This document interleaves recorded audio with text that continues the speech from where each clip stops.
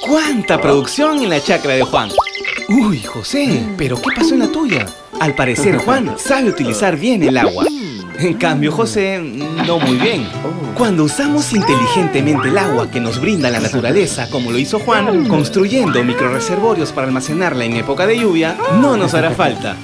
Valoremos las prácticas ancestrales del buen uso del agua. Autoridad Nacional del Agua, Ministerio de Agricultura y Riego, Perú, progreso para todos.